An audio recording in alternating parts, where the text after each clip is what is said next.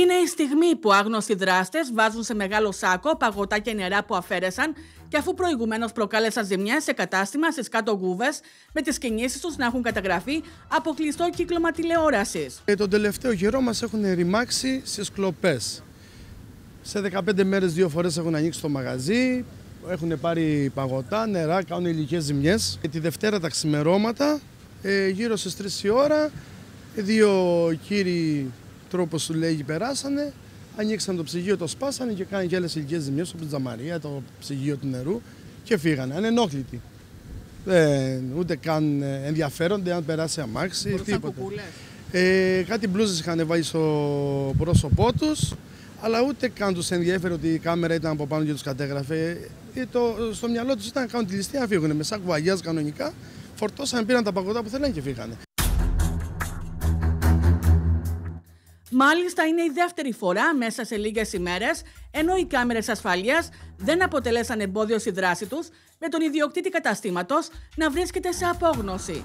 Και επιτοπλίστων μεγάλης αξίας παγωτά. Δηλαδή και τα, τα προϊόντα που παίρνουν είναι αξίας ε, μεγάλης. Οπότε αυτό με βάζει τώρα στη σκέψη ότι μπορεί να υπάρχει από πίσω κλεπταποδόχος. Γιατί τι θα κάνουν 100 παγωτάκια. Ναι, γιατί ήταν του σακ έχουν έρθει με σακ το γεμίσανε και φύγανε. Κλέβουν ρούχα από τι απλώστρε, ρούχα από τα μαγαζιά, σταν κλέβουν τα πάντα. Εδώ μας έχουν ρημάξεις. Τον τελευταίο καιρό χαμός. Εκεί στη βάση κάθονται, έχουν έρθει κάποιες άλλες υπηκότητας ε, άνθρωποι και γίνεται χαμός. Αν μα πω χαμός, χαμός. Τελευταίες δύο εβδομάδες έχουμε παρατηρήσει εδώ ότι κάποιοι, κάποια μποντικάκια πειράζουν εδώ στην περιοχή μας.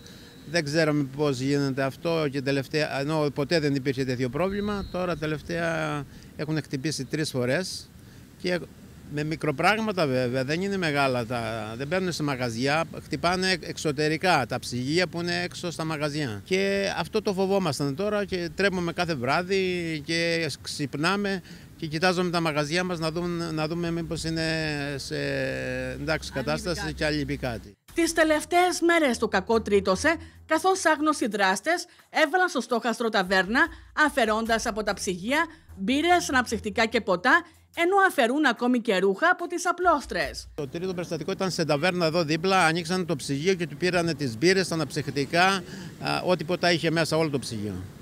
Οπότε και εσείς φοβάστε για τα εμπορεύματα. Τα πάντα φοβόμασταν. Ε, η αλήθεια είναι ότι ε, δεν νομίζω ότι υπάρχει αρκετή αστυνόμευση και θα θέλαμε λίγο παραπάνω να δώσουν έτσι λίγο σημασία στην περιοχή μας λίγο παραπάνω από το αστυνομικό τμήμα της Χερσονήσου. Όλη τη βδομάδα αυτή και την προηγούμενη έχουμε κλοπές full.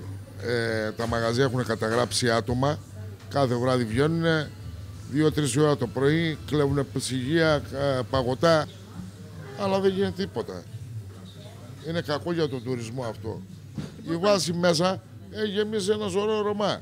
Και δεν είναι μόνο Ρωμά, μπορεί να έχει Έλληνες. Ε, λίγο παραπάνω συνόμεση πρέπει να την έχουμε, γιατί και εδώ τουριστική περιοχή είναι. Ούτε εμείς να φοβόμαστε για τα μαγαζιά μας, ούτε οι τουρίστες. Τα περιστατικά κλοπών έχουν προκαλέσει μεγάλη αναστάτωση στην τουριστική περιοχή, με τους κατασυματάρχες να ζητούν περισσότερη αστυνόμευση.